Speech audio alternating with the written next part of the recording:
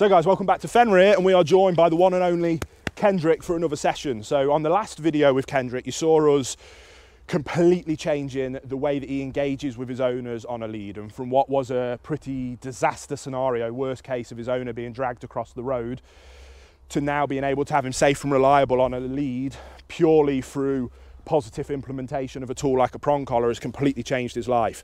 Now, the next big problem, it tends to be, we're noticing a trend that this is the case. If you can help me stop my dog pulling, that's amazing. And then when you do that, if you can get them to come back to me when I ask them, that would also be amazing. Now, you've seen me start working this with Sandy, a golden retriever, in a previous video, and you'll have noticed me using very kind of food reward, food reward positive based recall systems same situation here is that his recall of Kendrick Come is dead now. We need to leave that and, and let it go and die a death.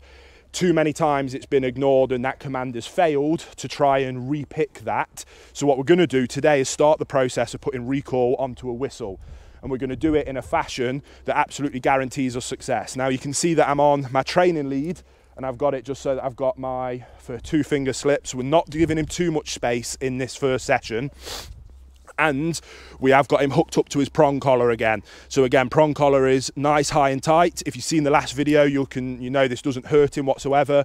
It's the only tool that kind of allows us any engagement. Now, where this gets challenging with Kendrick is I can show it you with a Labrador or Sandy, the Golden Retriever, who is incredibly food driven and really eager to please makes it very easy. Now, what do you do when you've got a guard dog that has zero issue in toys and zero issue in food, uh, interest, sorry, in toys or food? It makes it much more of a challenge to get a reliable recall. Now, what we're gonna have to do is use more of a balanced approach to achieving that recall. And we're going to be using his prong collar to start the process of him understanding when I ask you to come, you need to come. There is no exception to that. Once we build that foundation of getting him to come to me, and then I'm going to start associating two pips on a whistle means come to me. And then when you come to me, one of the few things that Kendrick really likes is physical praise. So what you're gonna see is a 300 pound, six foot three man in the next few minutes rolling around on the floor with a Dogue de Bordeaux telling him how wonderful he is. But that's the only thing that really ramps him up and lets him know that he's gonna done a good job. So very much a balanced protocol here. If I'm gonna get, ask him to come to me, if he ignores me, I'm gonna give him a little bit of pressure on the prong to direct him towards me. So if he ignores my recall command, I'm going to correct that. I'm then going to redirect him with energy and a little bit of pressure if need be. And then when he gets to me, we're going to reinforce it with one of the few things that is a good reinforcer for Kendrick, which is physical praise. And because recall is one of those things that should be done with high value rewards, because what I want him to understand is that when I ask you to come to me, if you ignore me, I'm going to correct that and let you know that that's not acceptable. But if you listen to me and come to me, then it's the best thing that's ever going to happen to you. And we need to get that balance, especially because he has zero food or play drive. And this is all he wants to do is guard, protect, be a mastiff, which is cool. Absolutely happy for him to do this, which is why we're on a loose lead. You crack on, mate. I actually think this is utterly glorious and one of the reasons I love mastiff so much but we have to have the ability for him to be a wonderful dog to come to us when we ask him to, to be able to snap him out of this and let him know that there's a time and a place for this and it's not now. And what I need for you is to come to me now. So we're going to go over where I've got a little bit more space. We're out in the paddock today because I'm very aware I'm going to be rolling around on the floor and letting him know what a good boy he is. So a little bit of grass, oh, good boy, is helpful. So you can already see from the last video what a difference in his pulling is. So again, we're on one finger walking, as opposed to where he was dragging me down the drive in our last session. And now what we want to do is start to build this process. So again, what we need to do is get a few reps of him coming to me and understanding the concept. If you ignore me, I'm going to correct that behavior. If you listen to me, it's going to be the best thing in the world. So no more talking about it, we need to show it. So what I want to do again, we don't need much space. Kendrick, come. Oh yes, oh good boy. Oh, good boy. Yes, good boy. Thank you, good boy. Oh, yes, good boy. Thank you. Oh, good boy. Yes. And then we're going to let him break. And then we're going to do that again. So, Kendrick, come. He's ignoring me. Yes. Oh, good boy. Oh, yes. Oh, good boy. Oh, thank you. Break.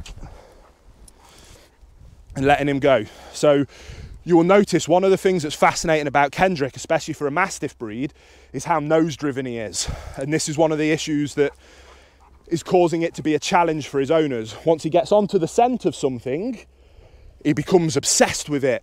And then any kind of engagement goes out the window. So, again, what we need to let him know is I'm going to get him on the end of that scent. Kendrick, come. Oh, yes! Oh, good boy! Thank you! Oh, good boy! Oh, you are such a good puppy! Yes! Oh, good boy! Oh, good boy! Yes! Oh, yes, good boy.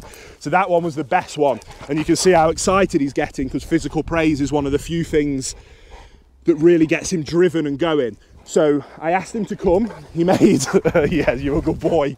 You're a good boy. So this kind of excitement is what I want. I want him to think that it's amazing to come to me. And then we're going to let him know that if you ignore it, then I'm going to have to challenge that. But if you just come to me, then the best things in the world are going to happen. So again, we're going to let him get a bit of space. Kendrick, come.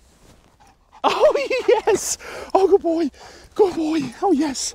Break. Then we're going to give him a bit of space. And what we're going to do is just drill this over and over and over again with a, a shortish long line. Kendrick, come. Yes! Good boy! Oh, yes, good boy! Oh, thank you! Thank you so much! Thank you Thank you! Good boy! Oh, yes! So he absolutely loves roughhousing. Kendrick Break. And let's talk about that one a little bit because that was a beautiful example of how it is that we're going to teach this behaviour through repetitions. That example was beautiful, and what I might do is replay that as I'm talking through again exactly what happened. So I gave him the Kendrick come command, which I know his owners have put a lot of work in early days. So he does understand that it's a recall command, but he's become conditioned to whether he is allowed to ignore it or not. And he's about to trip our cameraman over because you are a strong boy. And he'd made the decision to ignore the command. And what you saw was me using a little bit of pressure on the prong collar. With some dogs, uh, you could use a slip lead for this He's far too strong and far too nose driven to be able to get that desired response of snap out of it. Using that little bit of lead pressure was enough just for him to have that light bulb moment of, oh yeah, okay. And then he saw that I was ready to play, eager and waiting. And then he came to me with a pip in his step. And that's where I'm then rolling around on the floor like an idiot, telling him how amazing it is. But the more I'm working with Kendrick, the more I'm seeing that rough house play like that is a fantastic driver for him how my Labrador Sully will do anything for a ball or a treat. That makes it easy because I can stand here and not have to do anything. With Kendrick, I'm going to have to get down and I'm going to have to give him that, especially for recall, to let him know that that's a great job.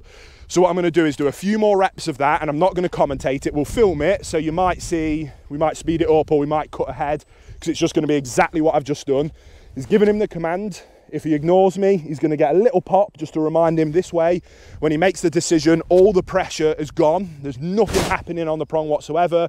And we're instantly back to boatloads of positive reinforcement in the form of getting down on the floor and doing a bit of rough housing with him. Um, and then what I'm going to do is I'm going to show you how we'll then start to associate that with the whistle. Kendrick, come. Oh, yes. Oh, good boy. Oh, thank you.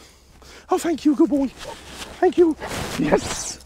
Oh, thank you. Oh, you're a good boy. Oh, you're such a good pooch. Oh, you're such a good pooch. You're so strong. You're so strong. Yes. Oh, thank you. Good boy. Oh, good boy. Yes.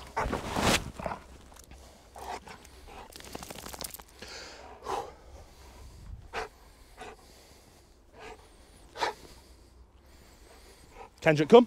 Oh, yes, thank you. Oh, yes. Oh, thank you so much. Thank you so much. Oh, you're such a scary dog. Yes. Oh, so scary. Oh, you're so scary. You are so scary. Oh, yes. Oh, you're so scary. Oh, thank you. Oh, thank you. Oh, you're such a big boy.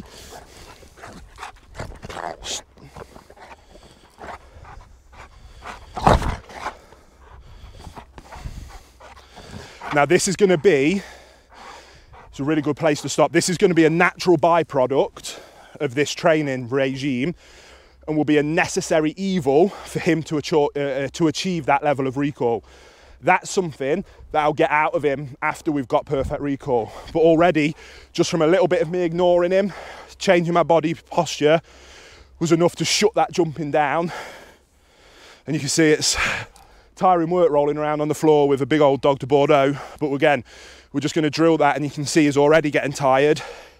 It's very mentally taxing for a dog to be able to kind of shape and modify these behaviors. So we're going to probably have five more minutes here and we're going to start putting it on a whistle. This requires, I'm going to talk you through it first because it requires me to concentrate because timing is so cr critical. I'm going to get him coming towards me and then I'm going to put two pips on the whistle. But I'm only going to put the two pips on the whistle when I know he's already made the decision to come to me. What I, what, what I need to do is pair those two things. So the act of coming to me pairs with two pips on the whistle.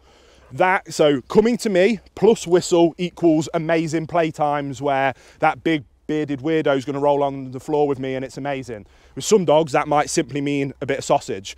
For kendrick i'm again again going to have to do a bit of rough housing just to make it worth his while to listen we drill that over and over and again it's kind of like a, a bit of pavlovian's theory how you can ring a bell and get a dog to salivate we can blow a whistle and get him so excited to come to me. So no more talking. Kendrick, come. Yes, oh good boy. Oh yes, good boy. Thank you so much. Thank you so much. Oh yes. Oh you're a good boy. Oh you're such a good boy, and you're so scary. You are so scary. Yes. Oh yes. Again, necessary evil from getting this excited.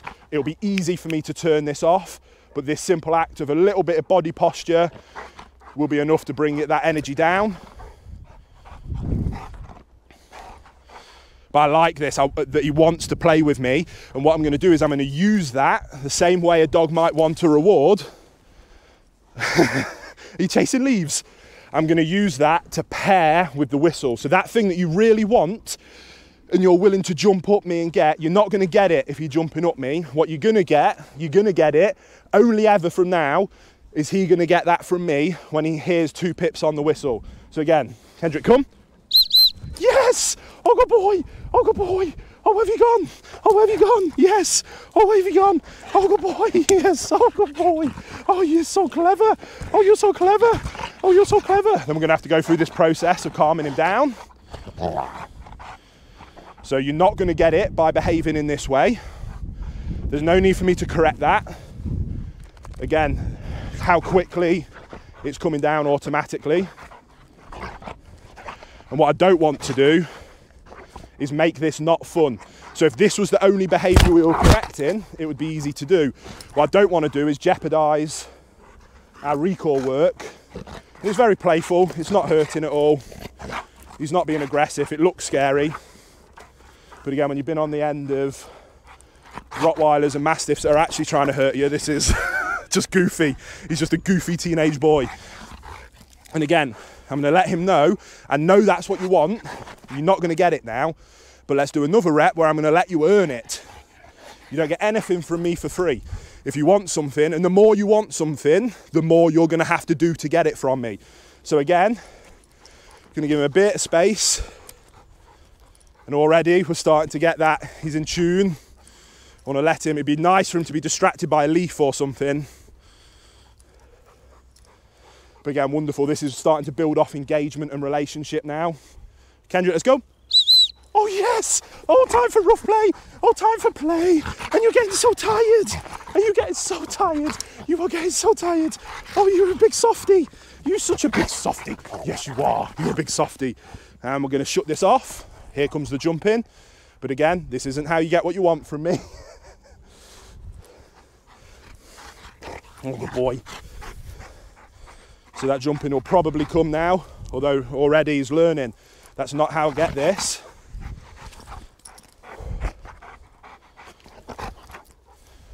Patience, calm assertiveness, and it brings him down as well. So what I would like from this session is one more of those, then he needs to go for a sleep and bring that energy level down, and then we're gonna come out and do the same thing absolutely over again. So let's finish on a really good one and pay him with a jackpot play session because I think I'm going to need a sleep after this one as well. I might have to get in the crate with you, Kendrick. Kendrick, let's go. Yes! Oh, good boy. Oh, you are getting tired. Oh, you're getting tired. Oh, you're getting tired. Hey? Oh, you like belly rubs. Oh, you like belly rubs. Oh, are we best friends? I'm the big mean dog trainer. Oh, yes. Oh, yes. Oh, good boy. And that's it.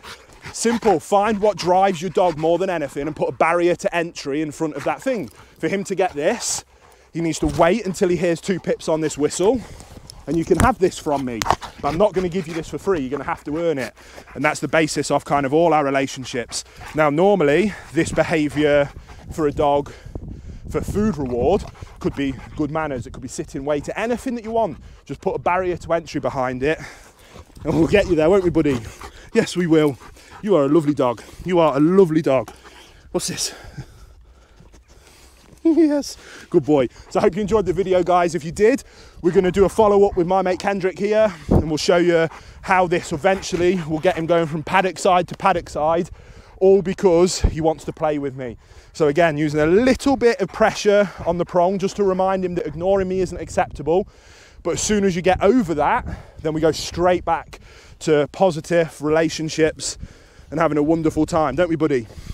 And that's the joy of proper dogs like this, aren't you? So yeah, subscribe if you like it, and we'll see you on the next video.